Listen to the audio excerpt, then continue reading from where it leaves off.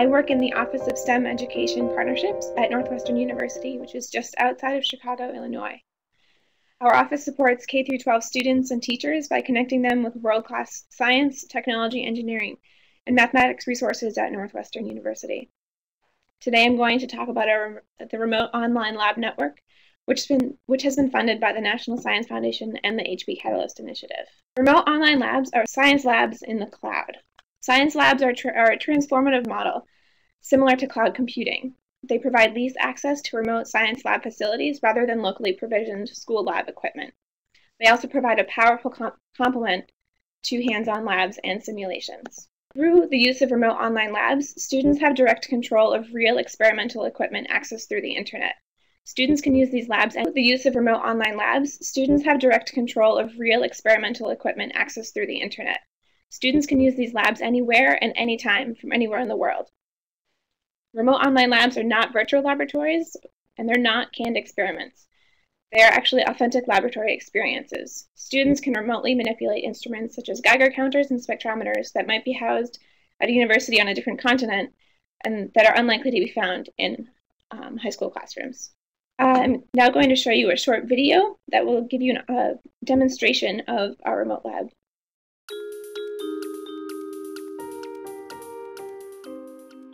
The concept behind it is students from anywhere around the world could go online and they could access an instrument remotely. So they're able to pick the variables that they want to change. They're able to set the parameters of the experiment and go through the process of scientific design. It's not a virtual lab, it's not a canned lab, it's not a simulation. You can see the instrument moving, you can watch your experiment running, and the kids are fascinated by it. My students right now are working on um, a radioactivity lab where they access a Geiger counter in Queensland, Australia. And what they're studying is actually nuclear chemistry and the effects of gamma rays and beta particles and alpha particles, but we do it under the subtext of, is your cell phone going to fry your brain? Now, a cell phone doesn't release gamma radiation. It actually works using microwave radiation, but what they learn is, is that all electromagnetic radiation um, acts in a similar way, that intensity is proportional to 1 over distance squared, which is a very fancy mathematical way of saying the farther you step away from the source of radiation, the less intensity you're going to receive.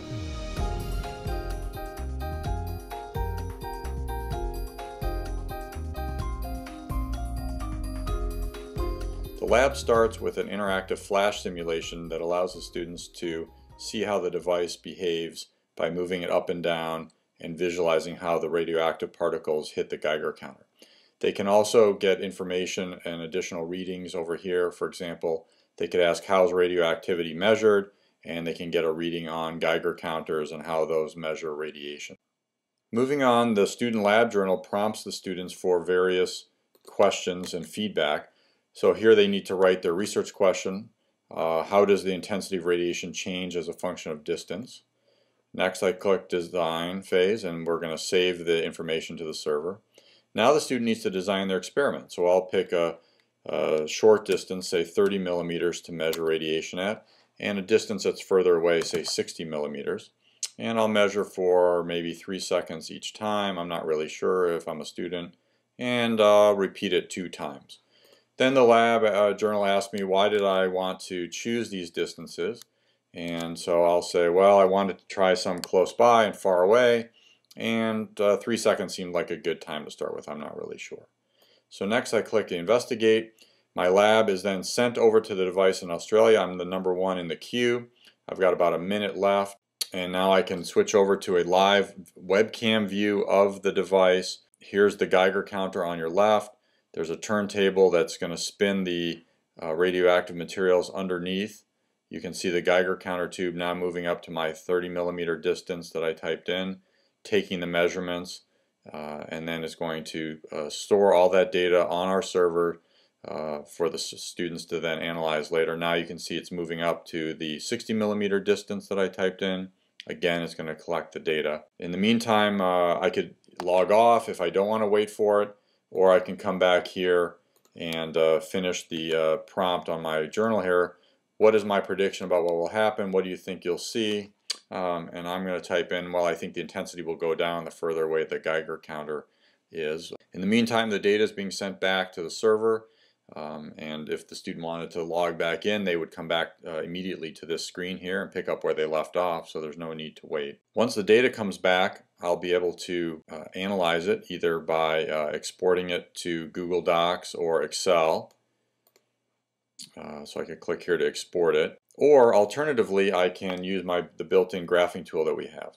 So looking at my results, I can see that they do go down um, but also the, they're a little bit different. So I'll write uh, my initial observations are that the counts went down by about half, uh, but each trial is different, so I'm not sure which number is right. So next I'll go ahead and fire up my uh, analysis tool, do some graphs, insert those graphs in my lab journal, and then uh, at the final question um, I'll uh, explain that I think the relationship looks like a linear relationship with a negative slope, and uh, I'll say, well, I probably want to run the lab again to see if the values I get keep changing. Finally, at the end of the lab, I can uh, download a PDF and uh, then I can turn that into the uh, teacher to complete my assignment.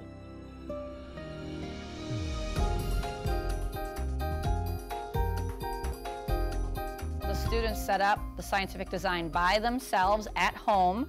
We do not do it in the classroom, which provides a lot more time to work on other curriculum.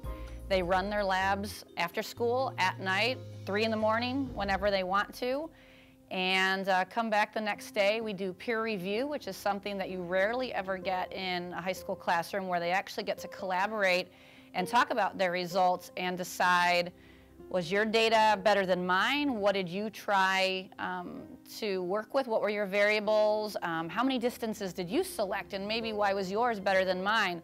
There's not one right answer, but the students really get a chance to talk about maybe where the weaknesses were in their experimental setup.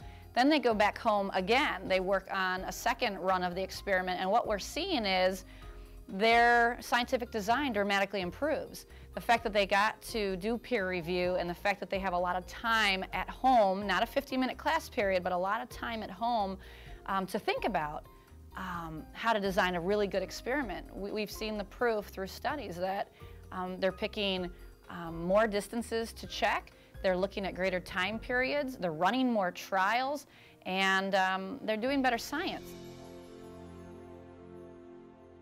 So after we developed the radioactivity curriculum, we developed the radioactivity curriculum that you just saw Tanya talking about, we conducted a pilot test of the radioactivity lab. We included 20 teachers and about 1,000 students.